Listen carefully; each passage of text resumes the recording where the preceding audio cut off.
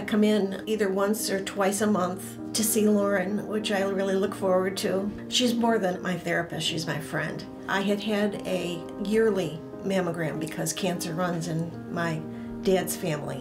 When I was actually diagnosed, it was like the shoe had dropped. Having some parts of your life where you have control control over your stress, control over what you eat, control over how much exercise and what kind of exercise you get.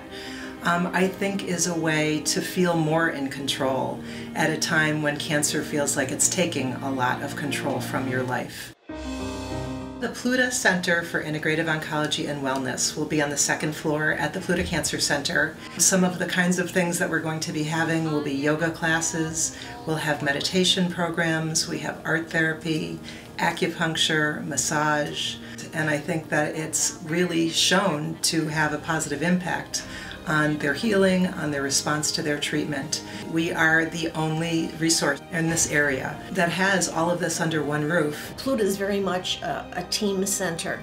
It's just a, a very special relationship that you have.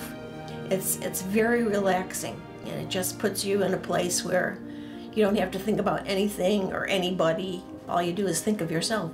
You have to be strong. You have to go into warrior mode when you go through cancer treatment. I think it takes some of the pain away from walking into a cancer center and feeling like bad stuff happens. There's also lots and lots of good stuff that happens. Today, uh, massage is a part of my life.